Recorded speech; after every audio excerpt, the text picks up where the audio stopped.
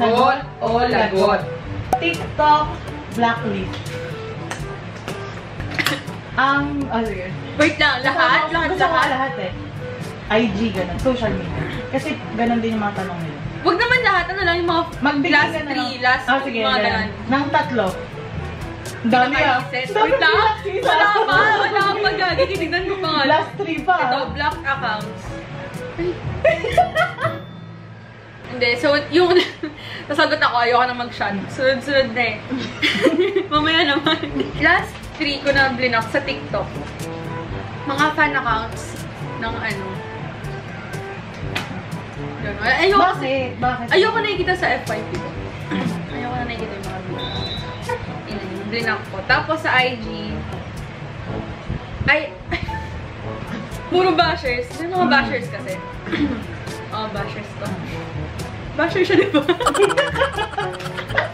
Sagot o lagot? Mas matanda or mas bata? Ay, madali lang. Mas matanda. Na. Na. Na. Binigyan ka lang, binigyan ka lang namin ng pahinga. Ito na yung Bonus question. Sagot o lagot? Last convo with ex. Hindi ko na ito makikita eh. Ay, hindi, hindi na siya. Wala na. Hindi lumalabas. Nakalagay this person is unavailable on this. Sorry! Pero trinay ko naman sagutin ha. Baka naman sabihin, nandadaya ako. Pala last convo namin, nakikita pala siya mali yung nagtingnan ko. Poster yung tingin na check ko. ano, tinatanong niya kung pwede ba daw malaman yung ano yung 6-digit passcode dun sa Bigo. Kasi dati sa akin naka-link yung pag papasok yung payment niya, tapos ita-transfer ko sa kanya. Ganun. So, ayun. Pero hindi ko alam ano yung code na sinasabi ko pen and pen. What? Hindi, parang- follow-up question. Hindi yung ano lang? Sagot o lagot? Number 13. Nakaaway sa YouTube industry. Mga YouTubers. Ay, wala. Wala.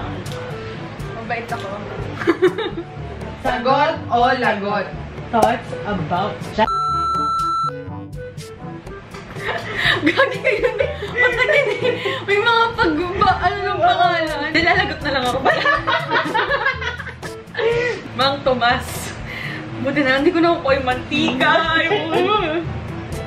Baho. Lechon kawali na ulam.